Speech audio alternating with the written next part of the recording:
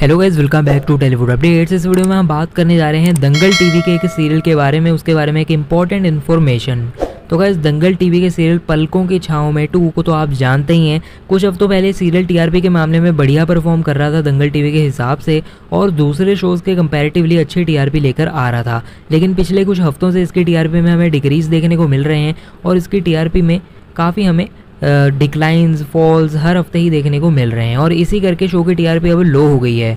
तो गैस लो टीआरपी के कारण दंगल टीवी ने इस शो को ऑफ़र करने का फैसला ले लिया है। तो पलकों की छाँव में टू जा रहा है ऑफ़र अभी के लिए नोन नहीं है कि कब ऑफ़र जाएगा, लेकिन आने वाले टाइम में ऑफ़र चला जाएगा इस सीरियल और इसको बंद कर दिया जाएगा दंगल टीवी से। पलकों की छाँव में टू का अभी के लिए शूट रैप अप नहीं हुआ है। अभी के लिए काफ़ी एपिसोड्स शूट होने पड़े हैं, लेकिन शो को ऑफ़र किया जाने वाला है। रैप अप होने में अभी टाइम है।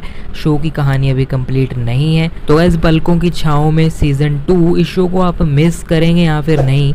और इस शो को आप देखते थे या फिर नहीं? कमेंट्स में हमें ज़रूर बताइएगा। वीडियो को लाइक कर दीजिए शेयर कर दीजिए सारे दंगल चैनल के फैंस के साथ। और अपकमिंग दंगल टीवी और इस शो की न्यूज़ सब पाने के लिए हमारे चैनल को सब्सक्राइब करके बेल के दबा लीजिए, ताकि आप कोई अपडेट मिस ना करें। फ़िलहाल के वीडियो में इतना ही। मिलते हैं नेक्स्ट वीडियो में। अभी के लिए चलता हूँ। Good bye